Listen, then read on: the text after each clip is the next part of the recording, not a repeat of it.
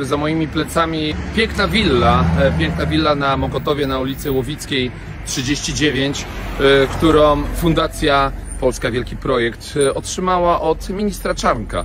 Ale ta Fundacja Polska Wielki Projekt zarządzana przez prominentnych polityków PiSu, którzy zasiadają w jej Radzie Programowej, jak pan e, premier Gliński, jak pan eurodeputowany Krasnodębski, raczej się powinni nazywać e, PiS to Wielki Przewał, bo dzięki tej kasie, którą uzyskali od swojego kolegi, ministra Czarnka, złożyli odpowiedni wniosek, dostali dotację 5 milionów złotych i kupili ekskluzywną willę w bardzo ekskluzywnej części e, Warszawy.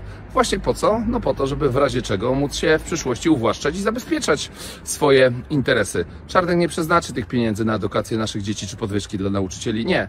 Pięć baniek i tą piękną willę, która za moimi plecami została przekazana Fundacji Polska Wielki Projekt. Nie Polska Wielki Projekt, tylko PiS to wielki przewał każdego dnia.